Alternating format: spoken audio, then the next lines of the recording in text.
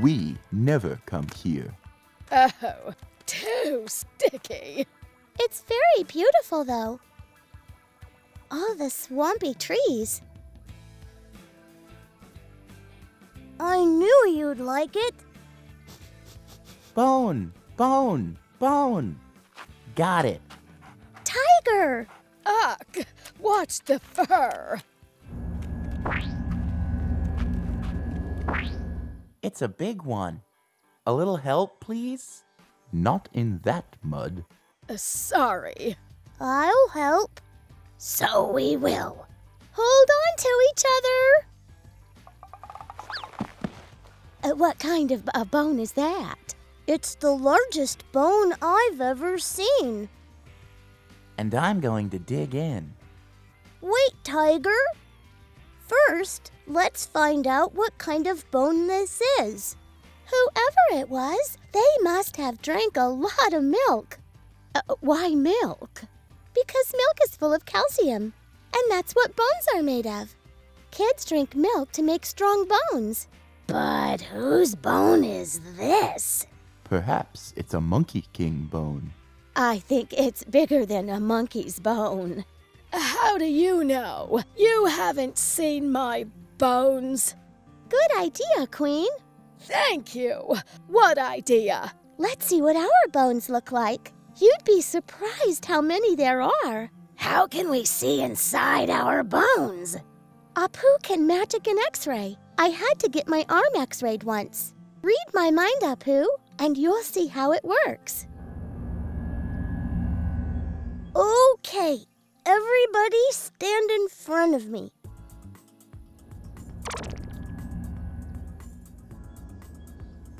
Those are my bones? You're amazing, Appu! We can each see our whole skeletal system. See how so much is the same, even though we're different animals. We all have skulls, and spines, and ribs.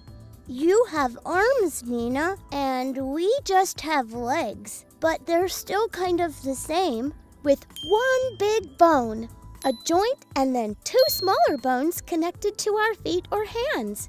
Funny, my paw looks a little bit like your hand.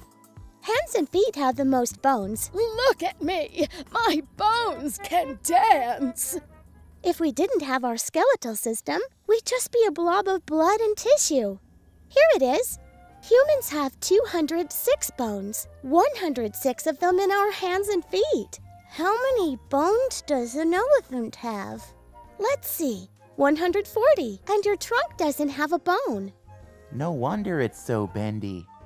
Tigers at 432. I had no idea I was so full of bones. And on that note, I'm going to chew on this big one. No, we still don't know what it is. It's too big to be a giraffe bone. It's longer than my longest leg bone. It's not an elephant bone. How can you tell? Elephants get very big. I can sense it. So, what other animal in the forest is that big? Wait a minute. This bone looks old, doesn't it? And it was stuck deep in that mud pit. You know what I think?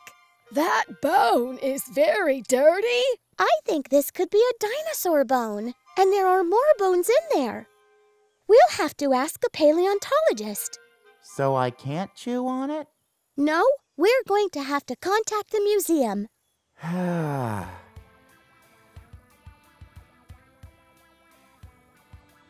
You're right, Neena. This is a dinosaur bone, and there's more in that mud pit. More bones! But not for you, Tiger. This is a great find. Your dinosaur is a cousin to the Gigantoraptor. That sounds big. Very big.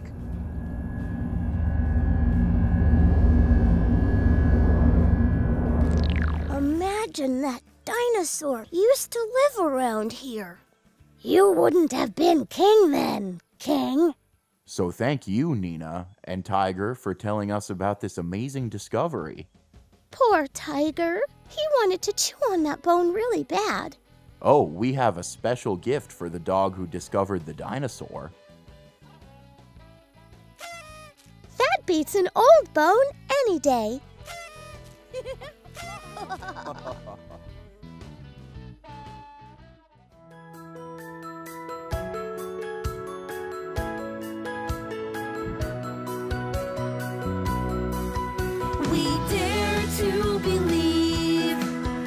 we can